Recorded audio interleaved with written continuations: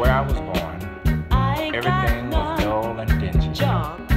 I lived in a place they called the inner city. Getting ahead was strictly a no-no. Cause nobody cares what happens to the folks that live in the ghetto. Thousands of lives wasting away.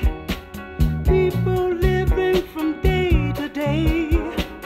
It's a challenge just staying alive. Cause in the ghetto,